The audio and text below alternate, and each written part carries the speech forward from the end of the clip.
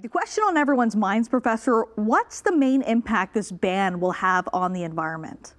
I'm hoping that it's going to have an impact such that when I go out and take a walk in a week, I will see fewer plastic forks and plastic bags dangling in the wind, on the grass, on the street corners. I'm really hoping that this will make an impact.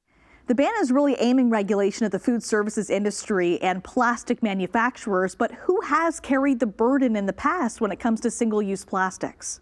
We carry the burden because we're the ones who are exposed to these plastics, all the plastic garbage. That's the plastic we see as litter. We pay for garbage handling, we pay for landfills, we pay dearly for them, and we have problems having enough land and space to take all our garbage. We pay in terms of health, in terms of our ecosystems, and in terms of human health. So we're the ones that are paying. In terms of where we are in Canada, how wasteful have we been? Canadians are sadly pathetic. We're terrible.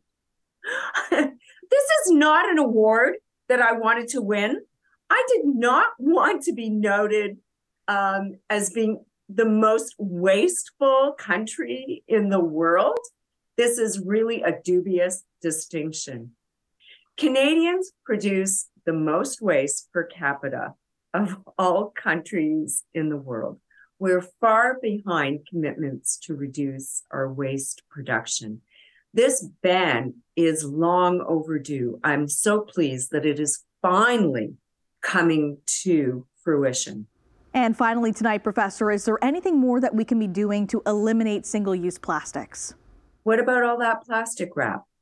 We're embarking on the holiday and gift giving season. Just think of all the plastic, the single use plastic that is going to end up in the garbage or the blue box. Now, you may think, oh, you know, I put plastic in the blue box, so it's all okay. I'm sorry, it's not okay. We have actually a very low rate of diversion. About 17% of, of plastic waste is recycled.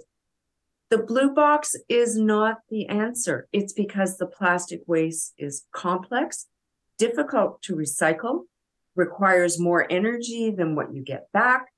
It's not a solution. The solution is banning the production of so much single use plastic. The industry has had much more time to prepare than for those of us paying mortgages with the Bank of Canada constantly increasing the mortgage rate.